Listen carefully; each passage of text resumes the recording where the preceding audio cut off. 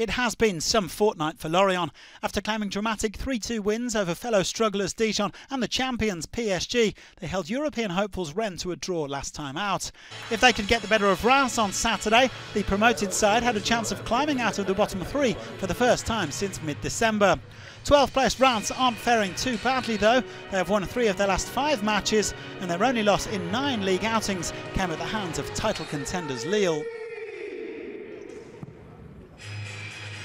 Well, Lorient looking for a third consecutive win on home soil here at Le Moustoir, but it was Reims who had the game's first opportunity.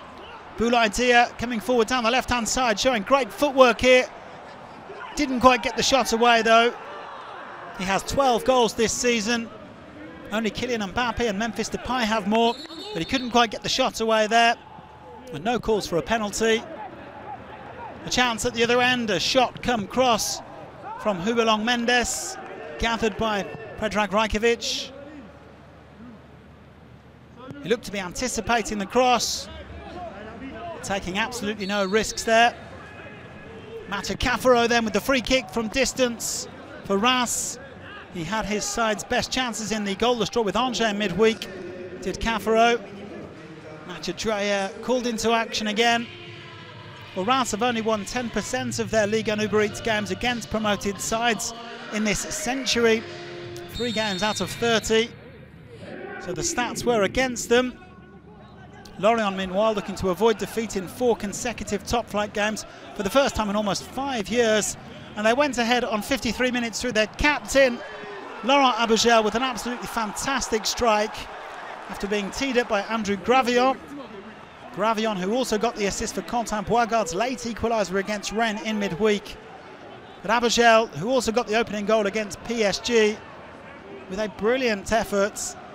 Rajkovic couldn't get across. Some way to get his second goal of the campaign and put his side in the driving seats. Lorient substitutes then combining Enzo Le Fée teeing up Adrian Grbic, but his effort over the bar, that could have been 2-0. It's not quite happening for the former Clermont man this season. He had 17 goals in the second division last term.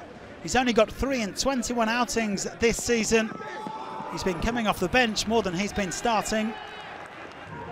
To his credit though, Grbic did then set up a lovely opportunity for Yoane Wissa, who wasn't quite able to get his seventh goal of the campaign. No matter though, a third consecutive home win for Lorient. 10 points now from a possible 12 to put them up to 17th and out of the bottom three. Also just a third clean sheet of the season. The final score 1 0.